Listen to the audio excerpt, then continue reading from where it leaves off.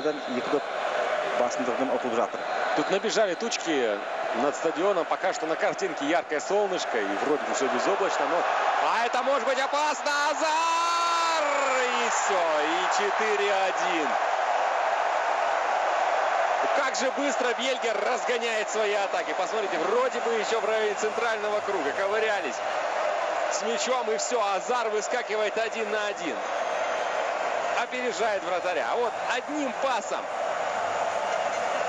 идеальная была, просто идеальная передача. И Эден Азар, конечно, все сделал как очень большой мастер. Посмотрите, какая обработка. Уже сейчас он смотрит, где голкипер, оценивает ситуацию, подбирает ногу, чтобы опередить его и прокинуть мяч себе на ход. Видит, куда мяч пробросить и управляемом расстоянии оставляет мяч. Стоял на ногах и уже в пустые ворота.